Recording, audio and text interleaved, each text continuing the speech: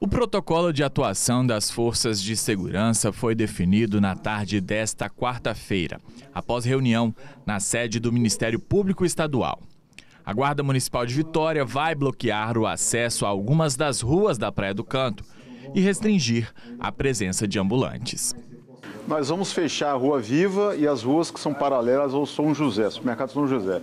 Nós acreditamos que isso vai facilitar o controle de ambulantes e vai facilitar também o controle de carros com som alto, de, de caixas de som portáteis, de maneira geral, a fiscalização pela secretaria que tem essa competência, também para inibir ilícitos penais, tráfico de drogas ou a pessoas armadas, tudo isso fica melhor controlável se a gente fizer a interdição de via. Por isso que nós acordamos ontem com a Polícia Militar, numa reunião do primeiro batalhão, de fazer isso já no próximo sábado, a partir do meio-dia.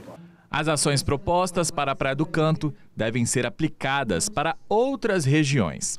O Ministério Público diz estar atento para que cenas como as vistas no último fim de semana não se repitam. A ideia do Ministério Público foi chamar esses atores, inclusive a comunidade, para a gente poder construir um protocolo que fosse mais efetivo, né, no sentido de tentar inibir não a, a, o ir e vir das pessoas, né, mas a prática de conduta irregular.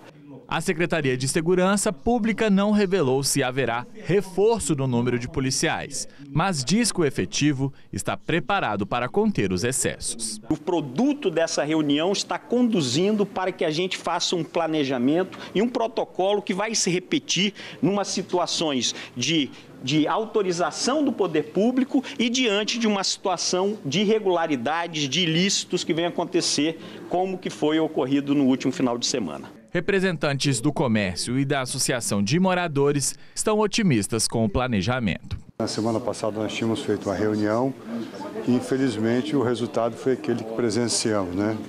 De terror, de quebradeira. Mas agora eu acho que todo mundo aprendeu a lição e está todo mundo mais empenhado e contamos com que, que, isso vai dar certo dessa vez. Nós estamos muito confiantes nas forças policiais. É, importante destacar que foi um evento isolado. É, o Triângulo das Bermudas está para receber a população, está de braços abertos para receber e servir a população, servir o turista.